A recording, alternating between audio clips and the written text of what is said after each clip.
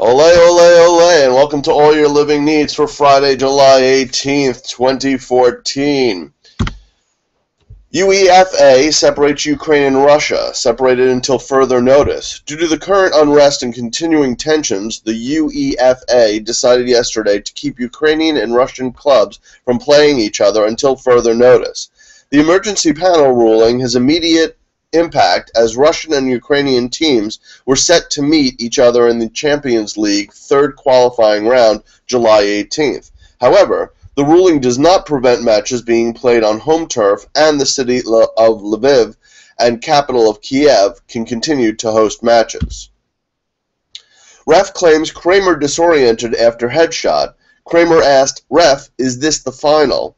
Nicola Rizzoli, the referee for the Germany versus Argentina World Cup final, is finally speaking out about what happened moments after Kramer returned to the game after suffering a head-on collision with defender Ezequiel Garay.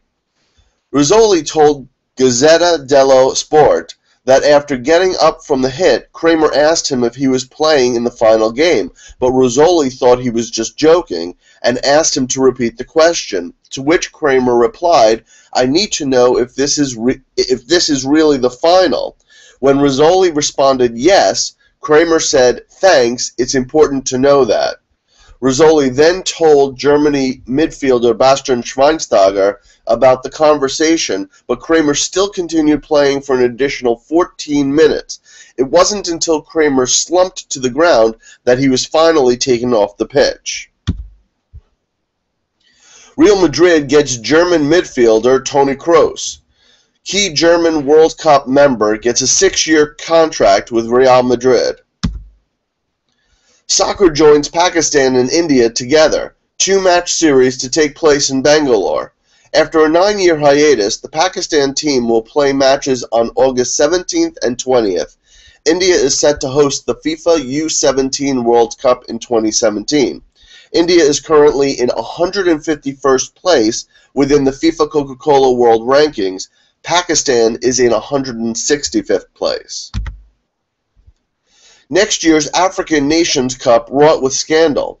International soccer resumes this weekend with the qualifiers for next year's African Nation Cup.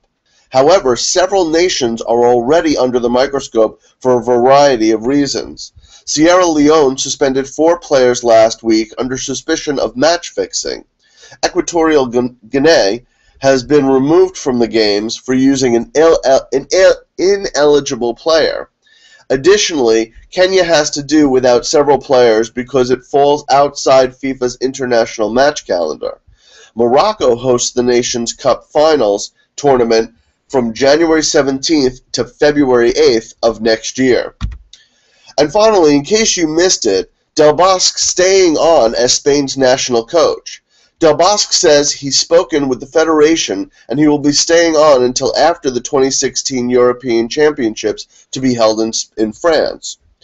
Quote, six years of success far outweigh two poor games, Del Bosque said. The Federation are feeling strong at the moment and they value the work I have done. We are feeling strong again and we are going to continue our work in the same way we always have. He went on to say, We mustn't make drastic changes, just continue on the same path and tweak the odd thing. Many believe that after six years at the top of Spain's golden generation, that they have nothing more to give on the international stage. Del Bosque insists, though, there is no reason Spain cannot win in France in two years. That's the news for all your living needs, Friday, July 18th. Have a great weekend.